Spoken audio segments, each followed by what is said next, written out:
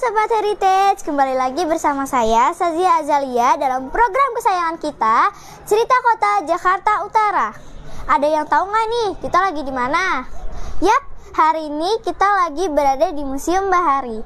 Sebuah bangunan tua bersejarah yang dibangun pada abad ke-18 oleh VOC yaitu perusahaan kongsi dagang yang berasal dari Belanda. Kira-kira dulu fungsinya Museum Bahari sebagai apa ya? Dahulu Museum Bahari dijadikan sebagai gudang rempah-rempah. Ya, rempah-rempah seperti jahe, cengkeh, lada yang sering Sobat Heritage temukan di dapur.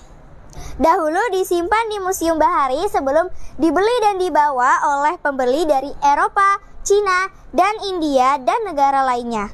Mau tahu info menarik lainnya tentang kawasan Jakarta Utara? Stay, stay tune terus di Cerita Kota Jakarta Utara TV and see you next time.